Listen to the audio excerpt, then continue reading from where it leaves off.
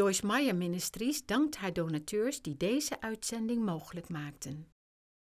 I guess the essence of what I'm saying today is I think it's time for us as a church body to get the message that the time has come for us to stop living to please ourselves and to please other people and let's make a clean break and say, I choose to live to please God, but I am going to need a lot of help.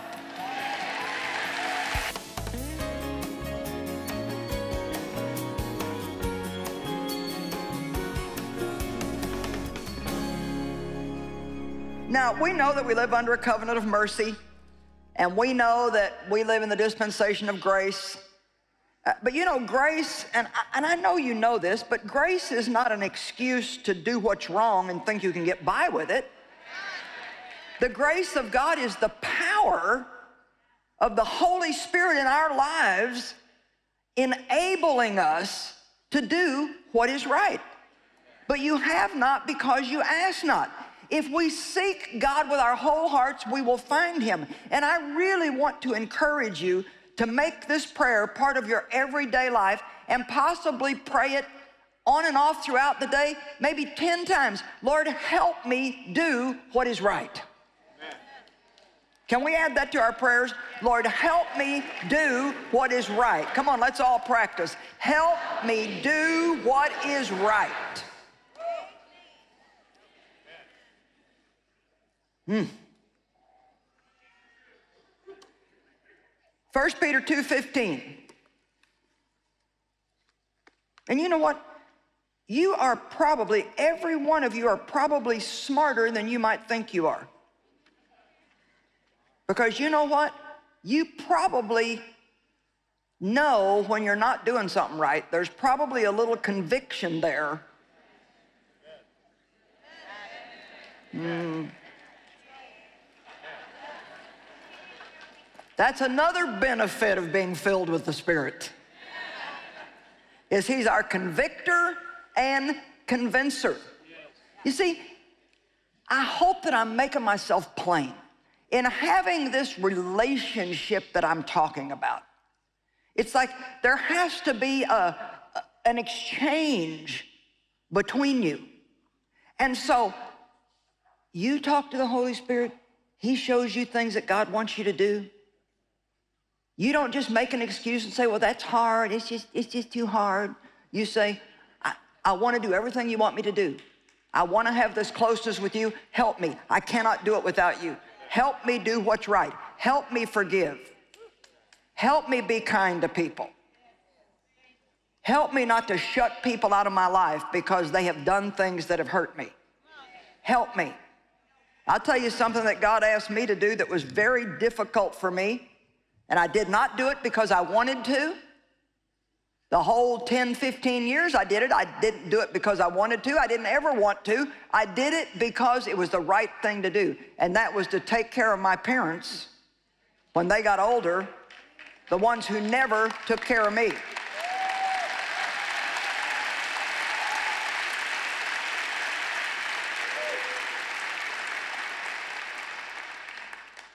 And you know, it really doesn't matter what your parents have done to you, you still have a responsibility before God.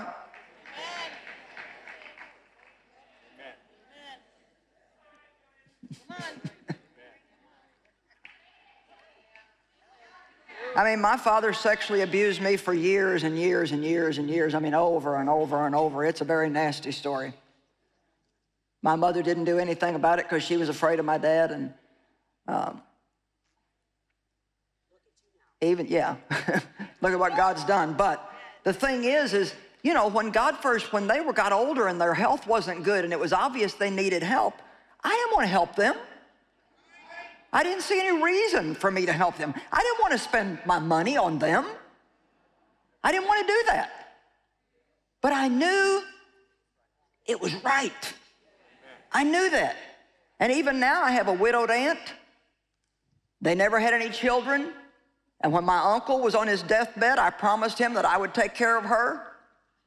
And that's been like a 25 year journey.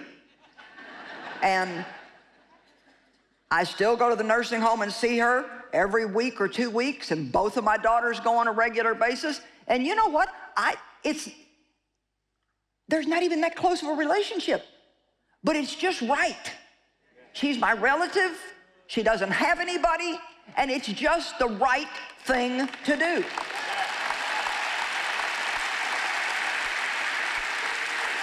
Come on, if you want to carry a strong anointing on your life, you, you just, just really start to do what's right because it's right and forget about how you feel about it or what it's going to cost you. Just God, if you if it, you say it's right, then I want to do what's right. I'm telling you what, the anointing of God is going to increase on your life. You're going to have so much more peace. I think your health will be better. You'll be stronger. I don't think we have any idea how much all these little things that we try to ignore pick away at our conscience. And we have to quit using the excuse, well, I just, I, I just can't. I just can't. Yes, you can. With God's help, I can do all things through Christ who is my strength.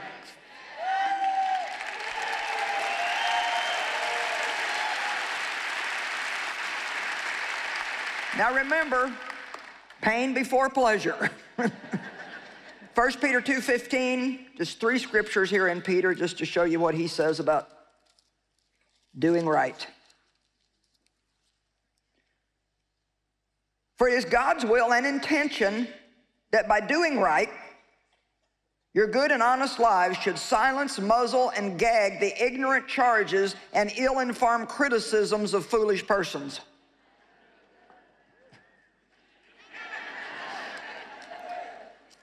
1 Peter 3:17 For it is better to suffer unjustly for doing right, if that should be God's will, then to suffer justly for doing what is wrong.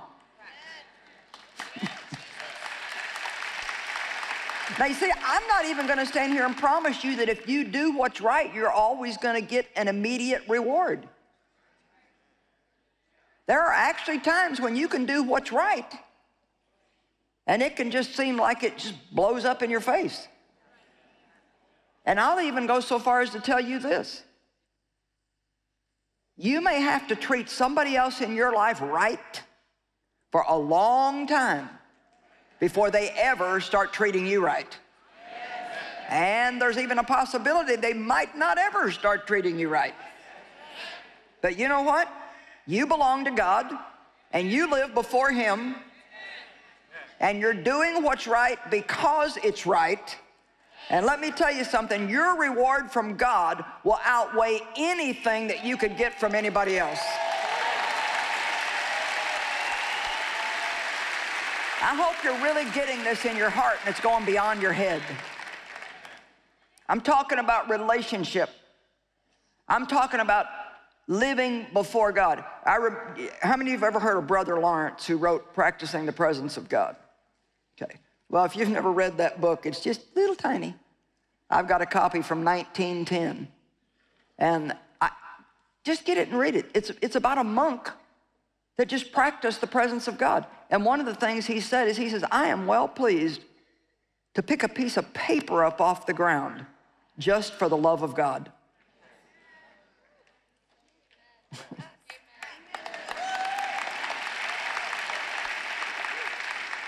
this morning when we left the hotel room, I left and I thought Dave was coming and he didn't come. And so I'm thinking, what are you doing?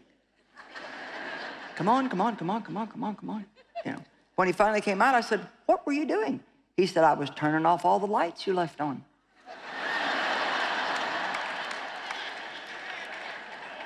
Because, see, that's something that we feel like is right to do. Well, why should I turn off the lights in the hotel? I'm paying for the room. Well, it goes back to that do unto others as you would have them do unto you. I'm telling you what, the Holy Ghost is going to mess in your lives. I mean, I don't know if you knew what you were doing when you said, I surrender all, come and fill me with your spirit. I didn't want to tell you this part too early.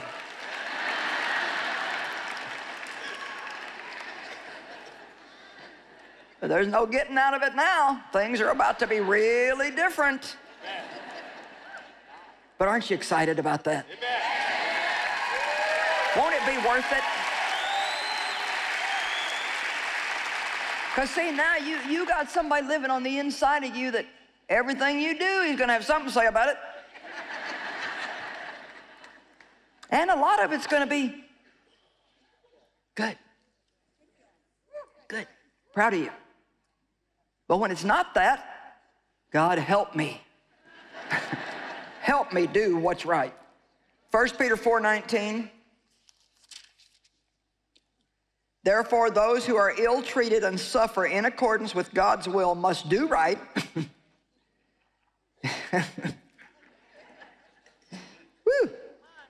And commit their souls in charge as a deposit to the one who created them and will never fail them. Let's say that you wanted a promotion on your job and somebody else at work that you don't like got it.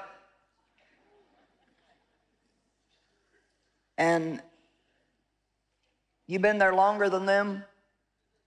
You actually work harder than them. But they got it, and man, you're mad at them. You're mad at the boss. You're mad at the company. You're mad at everybody. Oh, God, help me when I go to work tomorrow to do what's right.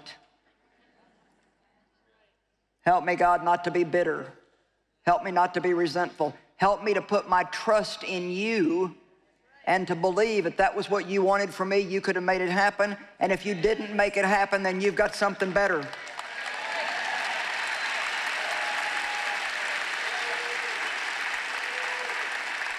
And then you go in and with your flesh screaming, you go to the person who got the promotion that you wanted and you say, Congratulations on your promotion. I'm so happy for you.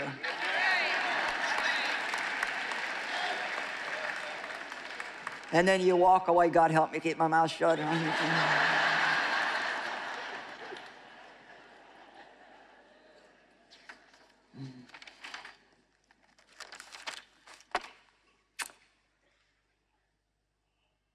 Jesus told his disciples in John 13 about washing feet, and he really just meant being a servant to other people, even in little things. And he says, Now blessed are you knowing these things if you do them. You know, there's a responsibility in coming to church. I don't know if you know that or not. But boy, you I've thrown a lot of information at you this weekend. And so now you you don't get to go back home and just live the way you always have.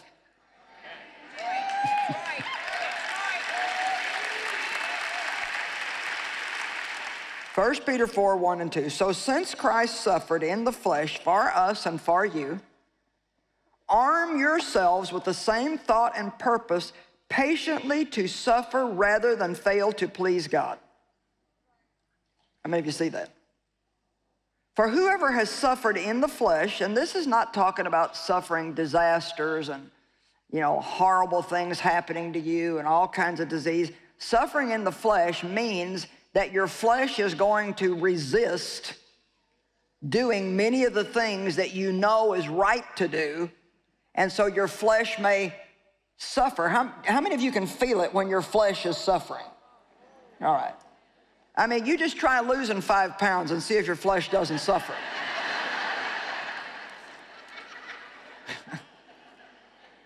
it will tell you you're starving, you're dying, you can't do it. So. For whoever has suffered in the flesh, having the mind of Christ, is done with intentional sin and has stopped pleasing himself and the world and pleases God. I guess the essence of what I'm saying today is I think it's time for us as a church body to get the message that the time has come for us to stop living to please ourselves and to please other people, and let's make a clean break and say, I choose to live to please God, but I am going to need a lot of help.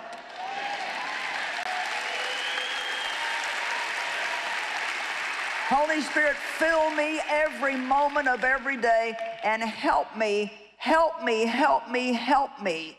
Not just get the things I want, but help me live to please God. Help me do what is right.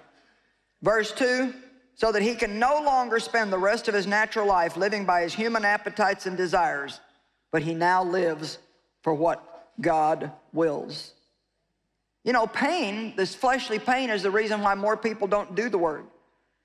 Because doing the word stretches us.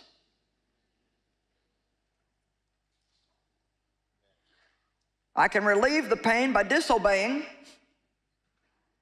but I also relieve the blessing that would have come through the doing. I can know that I should humble myself in a situation, but I feel no pain until I actually do it. You know, listening to me preach this is not painful. You all agree. You've even clapped and cheered at some sections. but you got to go home. You got to go home. It was funny last night. We were coming into the parking lot, and there were other cars, and so, I mean, our driver didn't necessarily just pull out in front of this lady, but he did cut into the line of traffic, and the lady in the car goes, and Dave waved at her.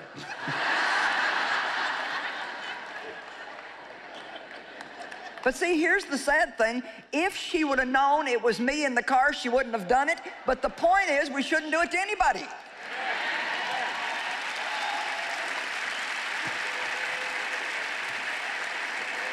Because then that makes us a respecter of persons, which is what Jesus tells us not to do.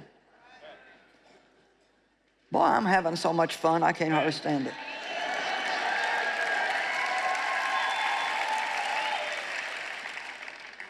So you're not going to really feel the weight of this message until you get up out of your seat and somebody steps on your toe or you you get out to the parking lot and somebody cuts you off or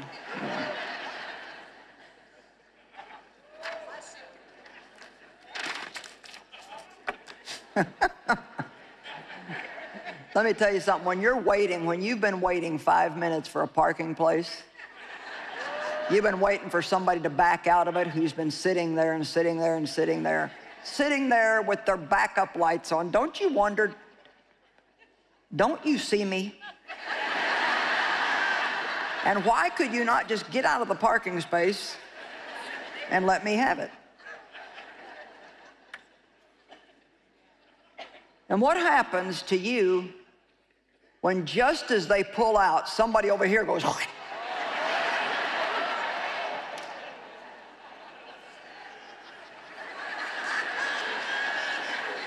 the flesh manifests.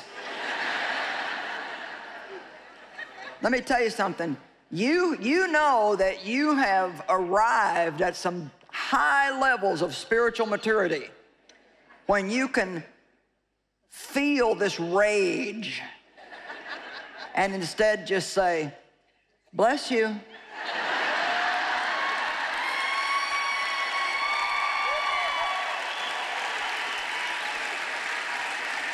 Come on. I'm telling you, you better get ready. There's gonna be some stuff that ain't gonna work anymore. Okay, here's a good statement for you.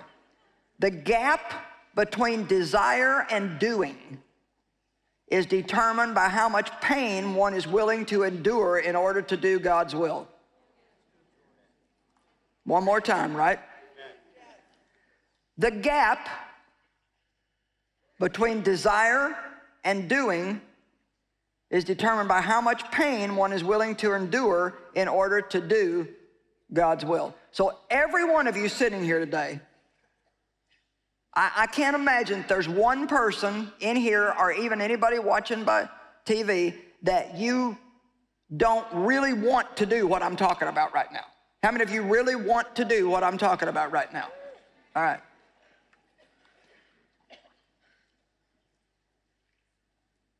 But you still have to go home and do it.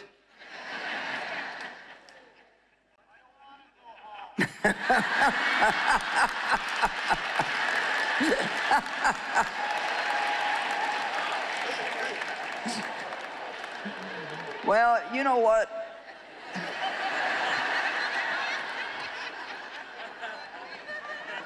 I'm just reminded right now about the man that, I don't know if he cast demons out of him or if he was blind or crippled, but he had a huge problem and Jesus healed him.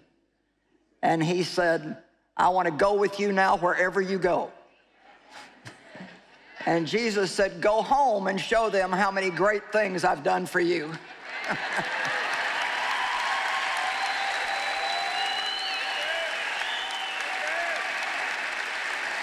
So see, the idea is not for you to get on my travel team now. but the idea is for each one of you to go back into the realm that you live in at work, in school, in your homes, in your neighborhoods, and show them, not necessarily preach to them, but show them what changes God has made in you. Amen? Jesus. Luke 5 1. Now it occurred that while the people pressed upon Jesus to hear the message of God, he was standing by the lake of Gennesaret, the Sea of Galilee, and he saw two boats drawn up by the lake, but the fishermen had gone down from them and were washing their nets. And getting into one of the boats, the one that belonged to Simon Peter, he requested him to draw away a little bit from the shore, and then he sat down and continued to teach the crowd of people from the boat. And when he stopped speaking, he said to Simon Peter, Put out into the deep water and lower your nets for a haul. Now, just quickly, I want you to realize that these guys have been fishing all night. They hadn't caught anything. They had brought these boats back, cleaned them up, cleaned up their nets, and now Jesus comes along with this bright idea that they should start all over and go back out again.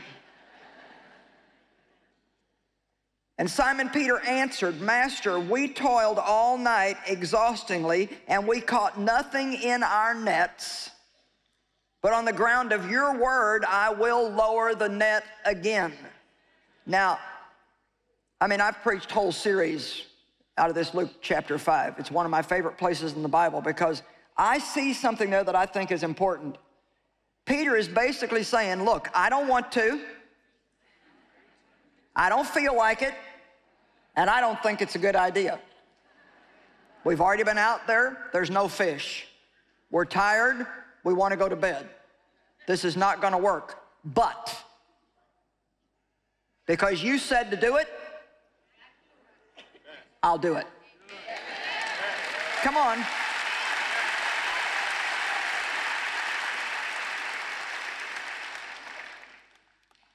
When it comes to this kind of relationship with God, the truth is, is we don't get to vote.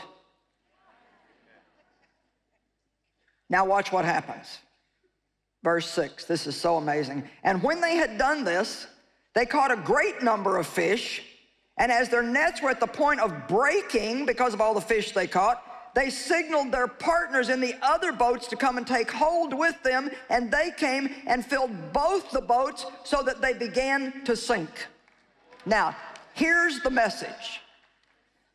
If we will do what's right and do what God says by the help of the Holy Spirit, no matter what we think or how we feel or what we want, then God is going to fill our boats and fill our nets, and they are going to be so full that we're going to have enough overflow to help everybody around us and fill up their nets. Come on, it's time for a new way to live. Thank you, Jesus.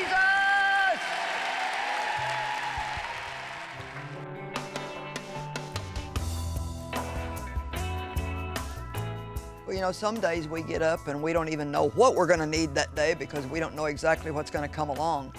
But I think it's very helpful to us to believe that through the Holy Spirit, we can do whatever we need to do, no matter what situation we're in. Right now, you may need an answer to something and you just feel like, I don't know what I'm supposed to do. The Holy Spirit will help you. You may be trying to deal with somebody in your life that's difficult, the Holy Spirit will help you.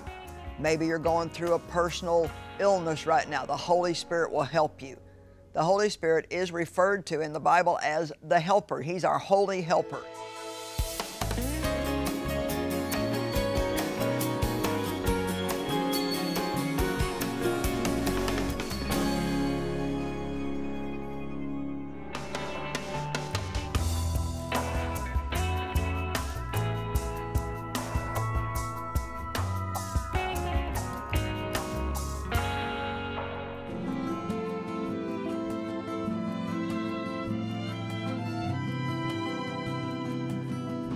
I've just been wondering lately, what is it that makes a person want to leave the comfort and monotony of home to come someplace crazy like this and do a medical clinic? Well, let's ask the volunteer doctors and nurses who do it all the time.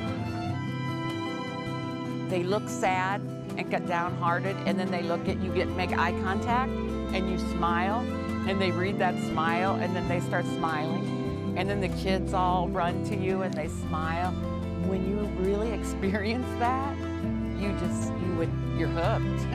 So what do you think? It can't hurt to at least check it out, right? All you need to do is go to our website, joycemeyer.org. All the information is there for you. And just think, your adventure may begin today.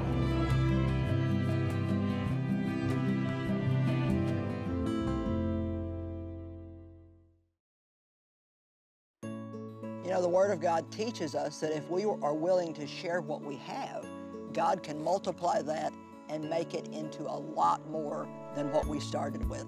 So please share. Help ons om andere mensen te kunnen helpen.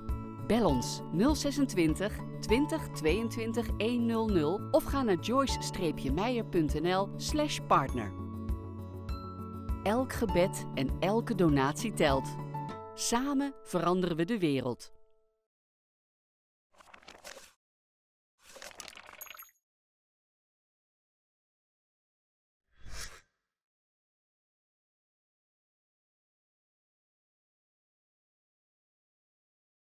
Een vervuld leven komt niet uit de hemel vallen. Maar het is zeker mogelijk, zegt Joyce Meyer. En ze laat je graag zien hoe je dat kunt bereiken. Maak kennis met Joyce. Met haar levensverhaal, met haar tips voor het dagelijks leven, met haar boeken en alle andere impulsen die je kunnen leiden naar een vervuld leven. Bestel gratis de informatiebrochure en bel 026 20 22 100. Of ga naar joyce-meyer.nl slash brochure.